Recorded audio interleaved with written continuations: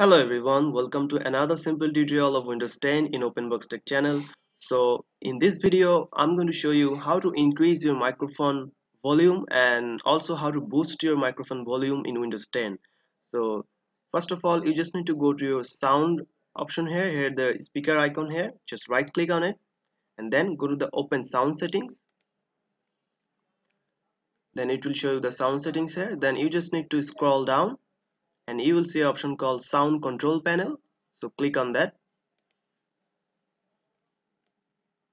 And then you can see there's option called recording here. Click on recording option. And you can see there's option called microphone. Just right click on it and you can see there's option called properties.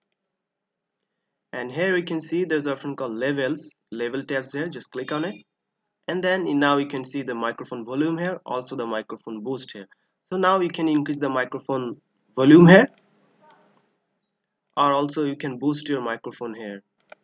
Here you can see the microphone is boosted here. Or you can low down your microphone boost.